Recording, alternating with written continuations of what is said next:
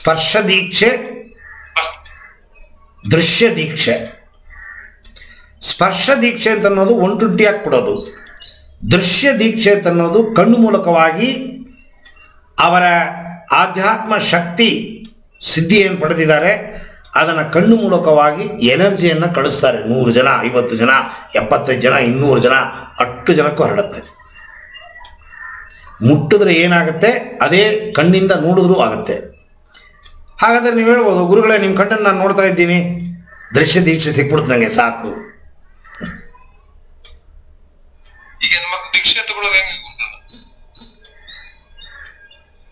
ದೀಕ್ಷೆ ತಗೊಳಕ್ಕೆ ಫೋನ್ ಮಾಡಿ ಅಡ್ವಾನ್ಸ್ ಆಗಿ ನೀವು ಹೇಳಿ ಅಪಾಯಿಂಟ್ಮೆಂಟ್ ತಗೊಂಡು ಬಂದರೆ ಫ್ರೀ ಇರ್ತೀನಿ ಬರ್ಬೋದು ಕೊಡ್ತೀನಿ ದೀಕ್ಷೆ.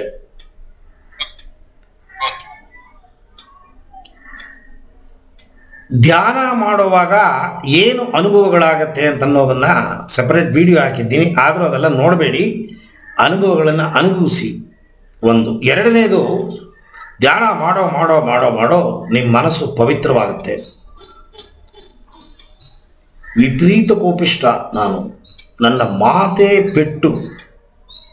ರೌಡಿಗಳ ಥರ ಬಿಹೇವ್ ಮಾಡ್ತಿದ್ದೆ ನಾನು. ನನ್ನ ಹತ್ರ ಬರೋಕೆ ಇದ್ರು ನನ್ನ ಹಿಡಿತಿ, ನನ್ನ ಮಕ್ಕಳು ನನ್ನ ಸ್ನೇಹಿತರು ನನ್ನ ನೋಡಿದ್ರೆ ಭಯ. ಹೊರಟು ಕೋಪಿಷ್ಟ ಮೂರ್ಖ. ಏನು ಮಾತಾಡಬೇಕು, ಏನು ಹೇಳಬೇಕು ಗೊತ್ತಿಲ್ಲ. ಮಾತೇ ಪೆಟ್ಟು.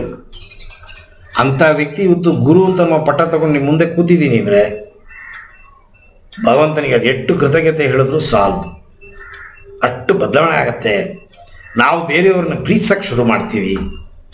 ನಾವು ಪ್ರೀತಿ ಕೊಟ್ಟರೆ ತಾನಾಗೆ ಪ್ರೀತಿ ಬೇರೆಯವರು ನಮಗೆ ಕೊಡ್ತಾರೆ. ಇಡೀ ಲೋಕ ನಮ್ಮ ಪಾದಕ್ಕೆ ಬರುತ್ತೆ.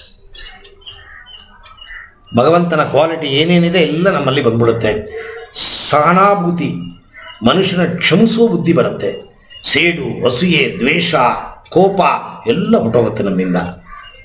ನಿಮಗೆ ಸಿದ್ಧಿ ಸಿಗುತ್ತೋ ಇಲ್ಲವೋ, ನಿಮ್ಮ ಮನಸ್ಸು ಪವಿತ್ರವಾಗುತ್ತೆ. ಹತ್ತಾರು ಜನ ನಮ್ಮನ್ನು ಹುಡುಕೊಂಡು ಬರಕ್ಕೆ ಶುರು ಮಾಡ್ತಾರೆ. ನಮ್ಮನ್ನು ನೋಡಿದ್ರೆ ಖುಷಿಯಾಗುತ್ತೆ ಅವರಿಗೆ. ನಮ್ಮ ಬದಲಾವಣೆಗಳ ಮುಖದಲ್ಲಿ ಕಾಣುತ್ತೆ. ತಮಿಳಿಗಾದೆ ಅಗತ್ತಿನ ಅಳಗ ಮುಖತ್ತಿಲ್ ತೆರೆಯುಂ. ಅಗಮ್ ಅಂದರೆ ಒಳಗೆ. ಒಳಗೆ ಅಂದರೆ ನಿಮ್ಮ ಮನಸ್ಸೊಳಗಡೆ ಏನು ಇದೆ? ಅದು. ಅದು ನಿಮ್ಮ ಮುಖ ನೋಡಿದ್ರೆ ಗೊತ್ತಾಗತ್ತಂತೆ. ಪರಿಮಳವಾಗಿರುತ್ತೆ ಮುಖ. ಮುಖದಲ್ಲಿ ತೇಜಸ್ಸು. ಒಂದು ಶಾಂತಿ ಕಳೆ ಅದು ನೀವು ಸಾಧನೆ ಮಾಡೋ ಮಾಡೋ ಮಾಡೋ ಮಾಡೋ ನಿಮಗೆ ಗೊತ್ತಿಲ್ಲದೆ ಬದಲಾವಣೆ ಆಗುತ್ತೆ. ಶಕ್ತಿ ಯಾವಾಗ ಹೆಚ್ಚತ್ತೆ? ನಿಮ್ಮ ಶಕ್ತಿಯನ್ನು ಬೇರೆಯವರಿಗೆ ಕೊಡ್ಬೋದು ನೀವು. ಅಷ್ಟು ಶಕ್ತಿಯನ್ನು ಭಗವಂತ ಕೊಡ್ತಾನೆ. ಅದನ್ನೇ ಶ್ರೀ ರಾಘವೇಂದ್ರ ಸ್ವಾಮಿಗಳು ಮಾಡ್ತಿರೋದು. ಅದನ್ನೇ ಶ್ರೀ ರಾಮಕೃಷ್ಣ ಪರಮಹಂಸರು ಮಾಡ್ತಿರೋದು. ಅದನ್ನೇ ಶ್ರೀ ರಮಣ ಮಹರ್ಷಿ ಮಾಡ್ತಿರೋದು. ದೊಡ್ಡ ದೊಡ್ಡ ಮಹಾನುಭಾವರು. ಚೈತನ್ಯ ಮಹಾಪ್ರಭು. ಎಂಟು ಜನಗಳಿದ್ದಾರೆ. ಅವರೆಲ್ಲ ದೇಹ ಇಲ್ಲವೇ ಹೊರತು ಅವರ ಸ್ಪಿರಿಟ್ ಅಂತ ಹೇಳ್ತೀವಿ ಇಂಗ್ಲೀಷಲ್ಲಿ. ಅವರ ಆತ್ಮ ಇನ್ನು ನಮ್ಮನ್ನು ಸುತ್ತ ಅಲಿತಾ ಇದೆ. ಒಳ್ಳೇದು ಬಯಸ್ತಾರೆ. ನಾವು ಬೇಡ್ಕೊಂಡ್ರೆ ಮಾತ್ರ ಹತ್, ಹತ್ತ ಮಕ್ಕಳಿಗೆ ಮಾತ್ರ ಹಾಲು ಕೊಡ್ತಾಳೆ ತಾಯಿ. ಸೊ ಯಾವ ಮಗು ಅಳತ್ತೆ, ಯಾವ ಮಗು ಕೇಳತ್ತೆ ಅವ್ರನ್ನ ಅನುಸರಿಸ್ತಾರೆ ಗುರುಗಳು. ಸೊ ಈ ಅನುಭವಗಳು ಏನಾಗುತ್ತೆ ಇದನ್ನು ಯಾರಿಗೂ ನೀವು ಶೇರ್ ಮಾಡಬೇಡಿ.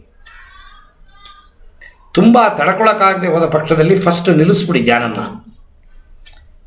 ಗುರುಗಳನ್ನು ಕಾಂಟ್ಯಾಕ್ಟ್ ಮಾಡೋಕ್ಕಾಗಿಲ್ಲ ನಿಲ್ಲಿಸ್ಬಿಡಿ. ಆದರೆ ನಿಮ್ಮನ್ನು ನಿಲ್ಲಿಸಕ್ಕೆ ಬಿಡಲ್ಲ. ಇದು ಒಂಥರ ಎಣ್ಣೆ ಹೊಡೆದಂಗೆ. ಈ ಆಧ್ಯಾತ್ಮದ ಅಭ್ಯಾಸ, ಎಣ್ಣೆ ಹೊಡೆದವನು ಹೇಗೆ ಬೆಳಗ್ಗೆ ಆರು ಗಂಟೆಗೆ ಎದ್ದು ಎಣ್ಣೆ ಅಂಗಡಿಗೆ ಹೋಗ್ತಾನ ಆ ರೀತಿ ಇದು. ಹುಚ್ಚಂತರ ಧ್ಯಾನ ಕೂರಿಸುತ್ತೆ ನಿಮ್ಮನ್ನು. ಎಲ್ಲಿದ್ದರೂ ಧ್ಯಾನ ಕೂತ್ಕೋಬೇಕು ಧ್ಯಾನ ಮಾಡೋದು ತಪ್ಪಿಲ್ಲ. ಆದರೆ ಪದೇ ಪದೇ ಪದೇ ಪದೇ ಕೂತ್ಕೋಬಾರ್ದು.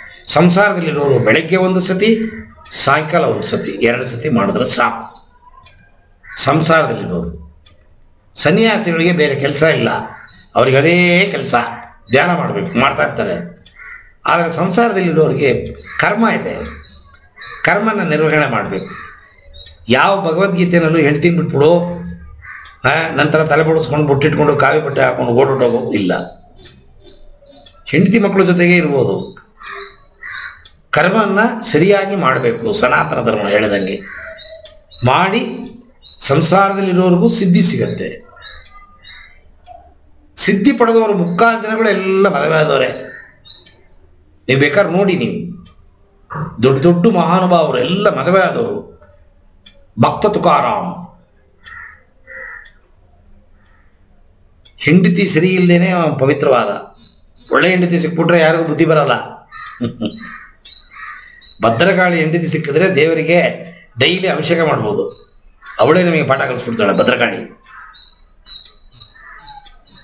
ಕೆಟ್ಟ ಹೆಂಡತಿ ಸಿಕ್ಕಿದ್ರೆ ಬೇಗ ನಿಮಗೆ ಮೋಕ್ಷ ಸಿಗತ್ತೆ.